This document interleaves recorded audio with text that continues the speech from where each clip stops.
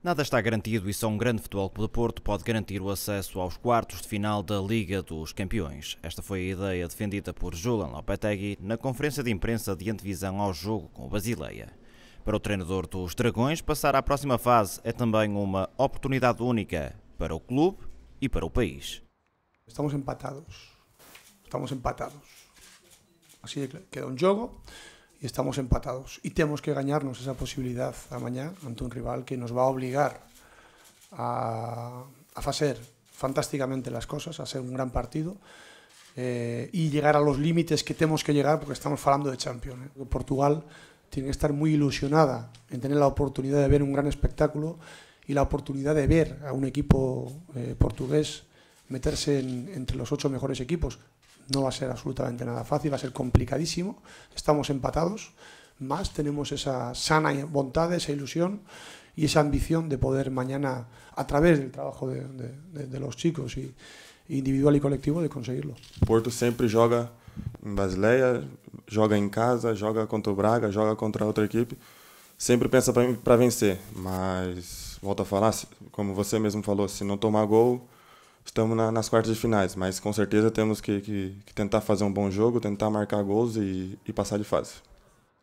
Lopetegui volta a poder contar com Maicon e Oliver Torres na máxima força, mas Jackson Martinez, para além de Adrian Lopes, é uma baixa de peso.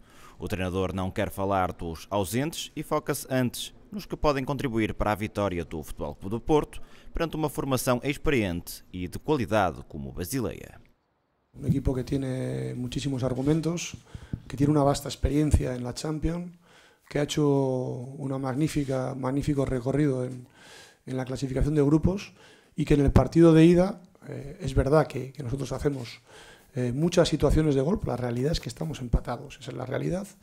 Y creo que es un equipo con, con muchos argumentos eh, en aspectos ofensivos y defensivos que nos va a obligar a volver a hacer aquí eh, no el mismo partido de allí, sino mejor todavía si queremos pasar.